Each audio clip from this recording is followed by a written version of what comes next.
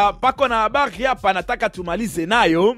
Maliza manake muda umekwenda. E, sawa sawa, nataka tumalize nayo hii hapa. Habari hapa. Unajua kuna vitu vingine, kuna vitu vingine bwana, huwa na- huwa huwa navishangaa sana sana sana.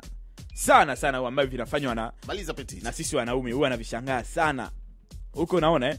Sasa pako na habari ingine ah, ambayo iko nasema huko, naona habari ingine ambayo iko natoka katika mkoa ya Rukwa ah, ambayo iko natolewa na mkuu wa mkoa Joakim Wangabo, ambapo amewaagiza wajumbe wa kamati ya ulinzi na usalama mkoa huo kuhakikisha eh, mkuu wa shule ya sekondari Muzindakaya iliyopo kata ya, ka, ya, ya, ya Kaengesa wilayani Sumbawanga, Dastan Mulelwa anafikishwa mahakamani haraka iwezekanavyo baada ya kuwabaka na kuwatia mimba wanafunzi wawili wa kidato cha pili na cha, cha tatu katika shule hiyo eh?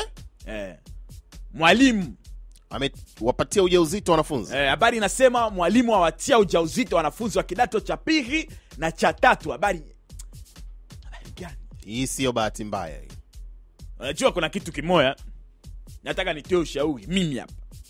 Hizi kesi unajua, kama wiki jana tulikutana na kesi muuguzi aliyebaka hospitali.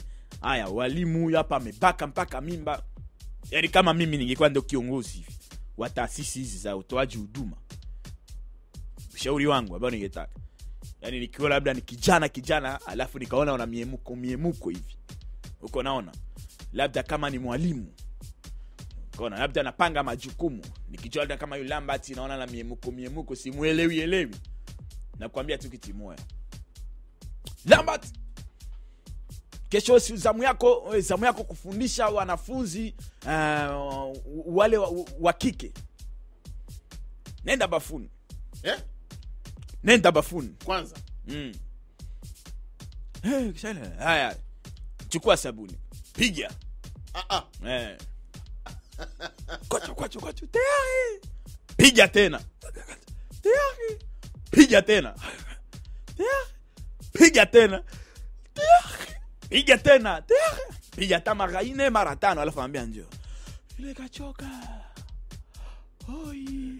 Naambia nenda akafundisha. Gani? Piga ya kwanza, piga ya pili, tatu, ya ile ya tatu. Uende ukafundishe? Alafu kafundisha. na wana na walimu kama wanawake zao hapo shuleni wawachunguzi